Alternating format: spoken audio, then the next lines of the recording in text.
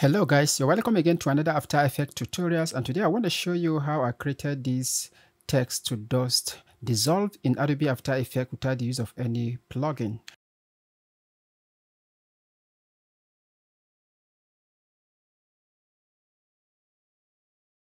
So support me on this one, like the video, do not forget to subscribe to my YouTube channel, then turn on the notification, come back and let's get started. Right inside Adobe After Effects, I'm beginning with a simple composition. Any setting will do and a text, the color does not really matter. So the duration is 10 seconds on the timeline. So let's begin. Select your text layer and pre-compose it. Name this text. Make sure you move all attributes to the new composition and then hit OK. Then duplicate this text layer and rename this particle.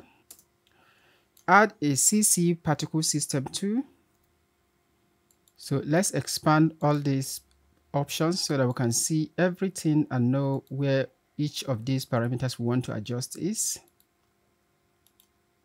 First, we're going to want to change the velocity and gravity to zero. This way we can see our producer very well.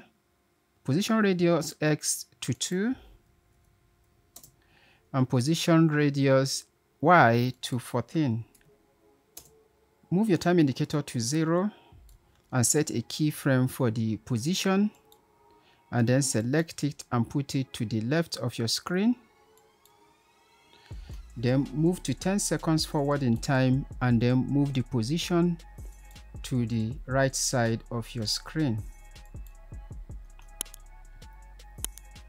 So now you have the producer moving from left to right so let's make some changes to some of these parameters. Let's change the animation type to direction. And now let's change the velocity to 0.6. Let's change direction to 0 by 253. Let's change these extras to 0. Now we're going to move the gravity to negative 0.3. At this point, we want the particle to start emitting from the text. Instead of having it emit randomly like this, I want it to start emitting from the text. So we're going to go down right here and check this source alpha inheritance.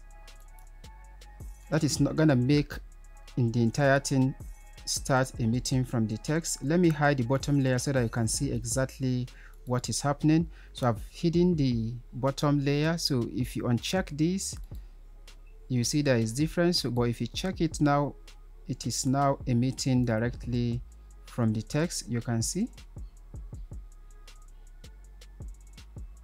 Beautiful. So let's turn on back the bottom composition. So i'm going to select this bottom composition then add a fill set your color. Any color will do. So i'm gonna go with somewhat blue. Then you hit ok. Select the particle layer and then change the colors to your text color. Right click on your timeline go to new and then create a new solid layer. Just make comp size and then hit ok.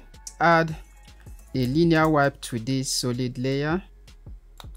Move your time indicator to 0 and set a keyframe for the transition complete and make the transition complete value to 100 then move your time indicator to 10 and then make the transition complete value to 0 let's move to the middle of our timeline. So now let's set the wipe angle to negative 90 set the feather to 100 let's add a turbulence displace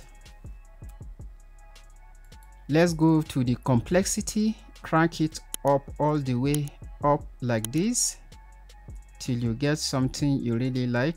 If you like you can play around with other settings. Then alt click on the evolution and enter this time expression time asterisk 100 move the solid layer above your text composition then we're going to set the track map to Luma Alpha inverted.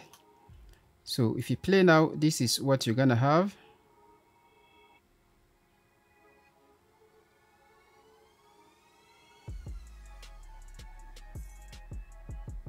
if this is okay you can stop right here but i'm going to show you how to smoothen up this let's add a cc vector blur to this uh, particle layer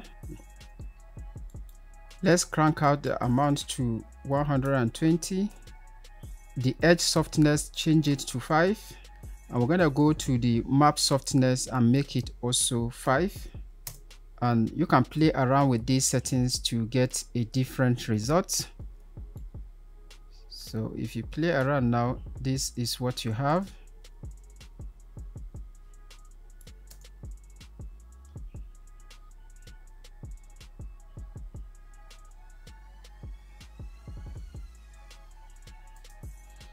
you can increase the vector blur amount or to play around with the vector blur amount to see what the impact is. If you reduce this to 50 it is going to give you a much softer version of this. So let's preview and see